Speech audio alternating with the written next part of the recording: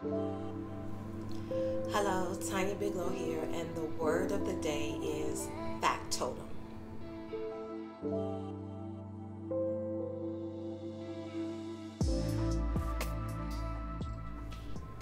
Now, factotum is a person who has many diverse activities or responsibilities, and especially one whose work involves a wide variety of tasks. Now, you may be a factotum in your organization or in your business, but you also may be a factotum just in your life in general. So you may have a lot of activities as a mom, as a dad, um, as a friend, as a daughter, as a sister, as a brother, whatever that looks like to you. A factotum is a person who has a lot of tasks. And I want to talk a little bit about the term of being busy. Now, just because you're busy doesn't necessarily mean that you are productive. So, if we look at someone who's a jack of all trade, that's not necessarily always a good thing.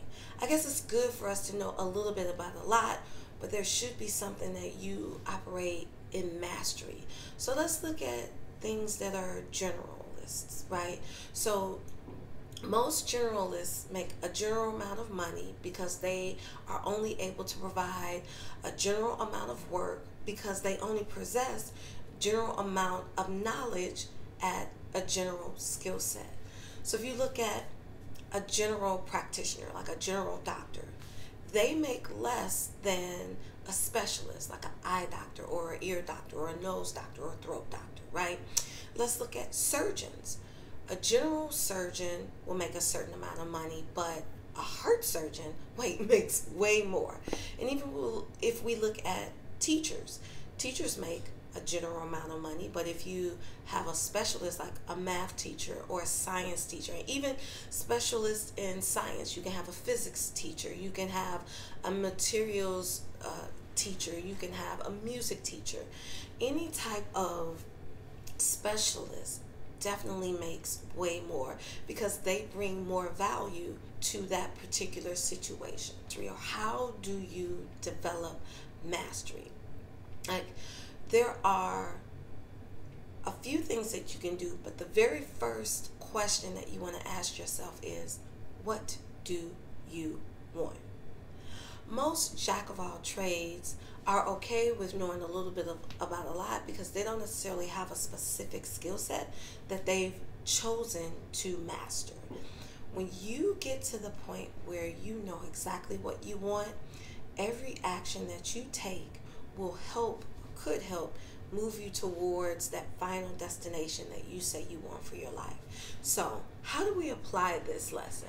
Well, there are some questions that you would need to ask yourself. So let's go down that list of questions. What puts a smile on your face when you do it? What makes you happy? What would you do all day for free? Like this is something that nobody has to pay you for. You just love vegging out and doing it all day. What do you do in your spare time? Like currently, what is it that you do in your spare time? Is it something that you like or something that you really don't like?